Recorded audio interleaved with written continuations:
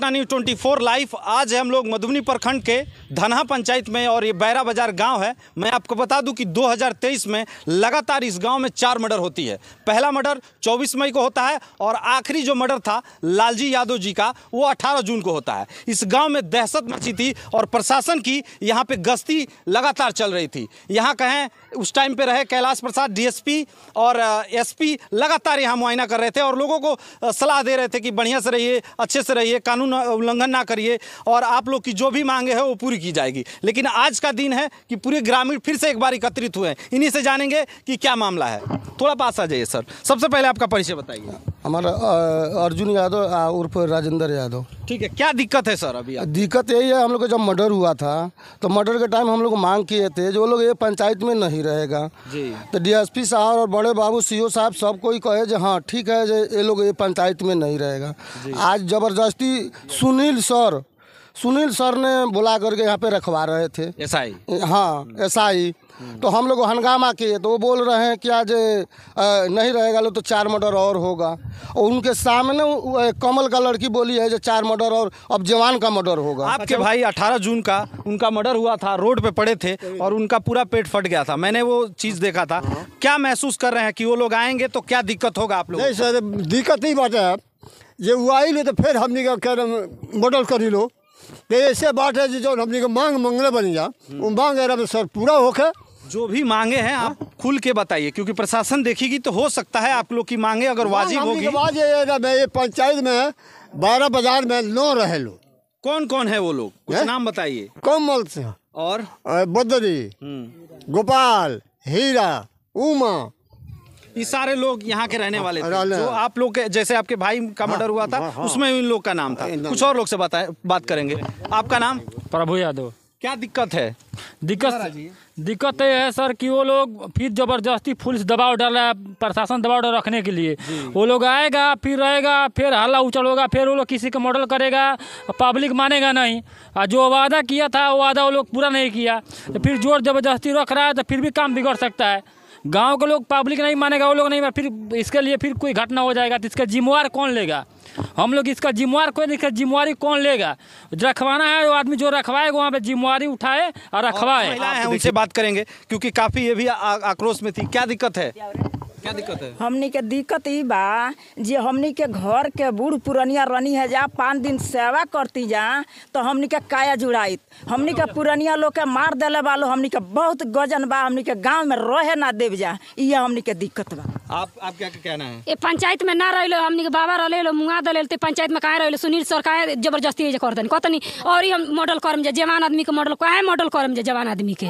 कहतनी जे फरिया ला जा फरिया ला जाओलो से त कैसे फरिया में जे ना हमनी के चार गो लात खड़ा करेला हमनी के फरिया ले मतलब यहाँ आके वो लोग धम ना रहिले त ना रहिले धमकी देता इसके सामने कहता रहे जे बिना से मॉडल होई के जवाब दियो कर हाँ? हमनी के मांग बात चाची पंचायत में ना रहिलो। आप यहाँ बहुत दिन से रह रही हैं। का काल आपको क्या लग रहा है? वो लोग आएगा रहेगा तो फिर से दिक्कत होगा। हाँ।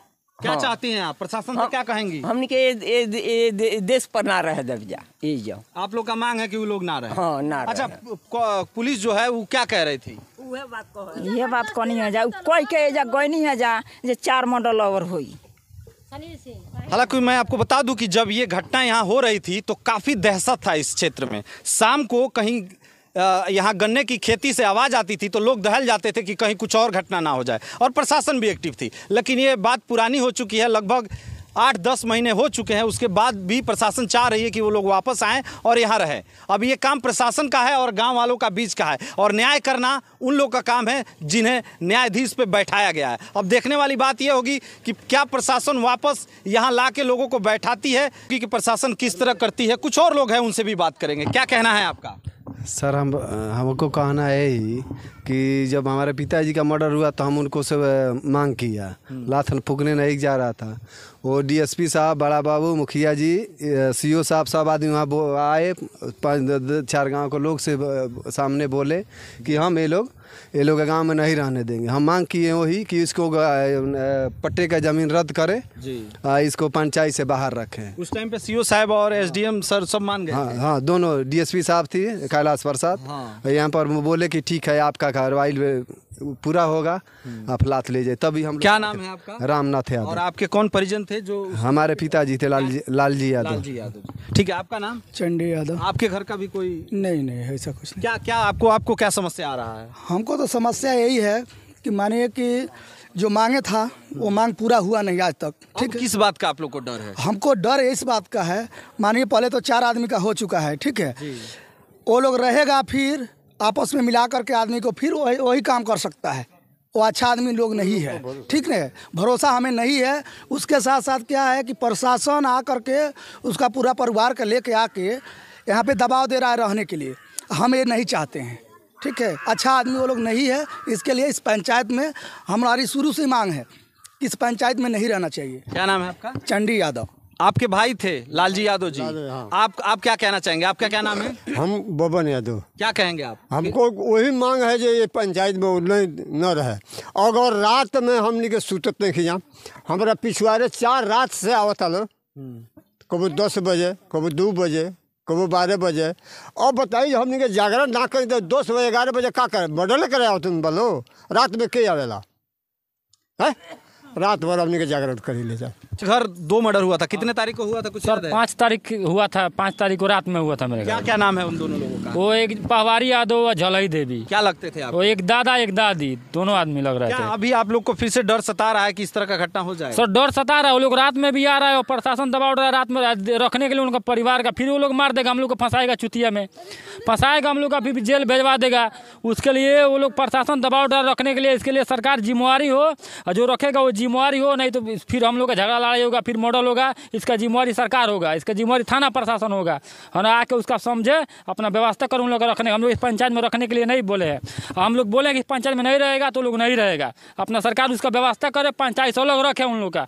पट्टा रद्द करवाए अलग रखे। हम लोग पट्टा रद्द करवा देंगे और। 24 मई को 2023 में। पिताजी। थे। क्या कहना है आपका अभी? आपके पिताजी तो ना। हम्म, क्या कहना है अभी कहना है वो सुनील सिंह आके यहाँ दबाव से रखता है। जे। रहो यहाँ पर ना तो नहीं रह कौन कौन आज आया था यहाँ पे? सुनील मैं बता दूँ कि कहीं ना कहीं इस गाँव में काफ़ी दहशत था। आज भी इन गाँव वालों के जो चेहरे पे साफ़ दिखाई दे रही है। अब प्रशासन इसमें किस तरह से काम कर रही है आशा और उम्मीद करते हैं कि बेहतर तरीके से इसकी जाँच पड़ताल करके और खबर दे रहे थे मधुबनी ब्लॉक से पटना न्यूज़ 24 लाइव के लिए मैं सरफुद्दीन अंसारी जय हिंद।